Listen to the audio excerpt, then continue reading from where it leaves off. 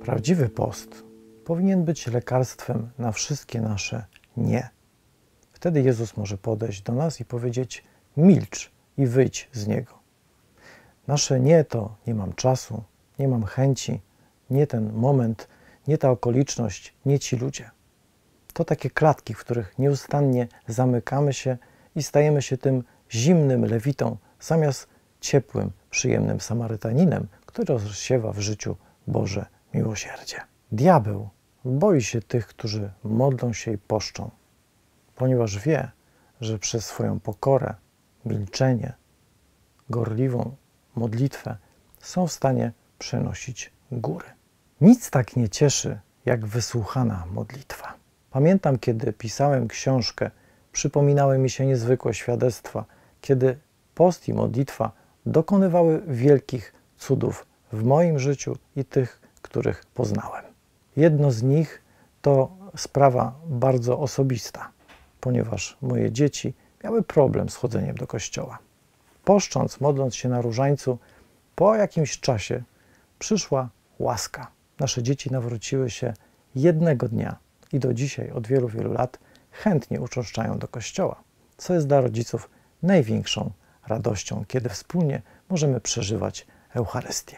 Jestem dietetykiem i na co dzień zajmuję się leczeniem chorób przewlekłych.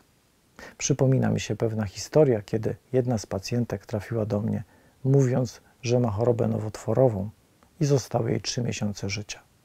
Wtedy pamiętam, podjąłem post na chlebie i wodzie. Była to zima. Wchodziłem na szczyt góry, poszcząc, odprawiając drogę krzyżową. Po dwóch miesiącach dostałem telefon, że lekarz rokuje szybki powrót i remisję.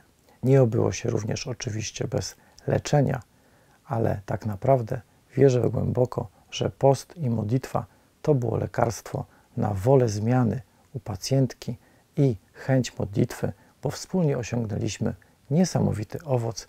Do dzisiaj cieszymy się dobrym zdrowiem. Udane relacje to najważniejsza rzecz w naszym życiu. Pamiętam, kiedy przez wiele lat poszcząc, wsłuchiwałem się w co nasz Pan ma do powiedzenia w sprawie tego, jak powinienem układać moje relacje, przyszła mi taka myśl, do której zainspirował mnie Duch Święty, że nie mogę obwiniać mojej żony za brak mojego szczęścia, a każdą zmianę muszę rozpocząć zawsze od siebie.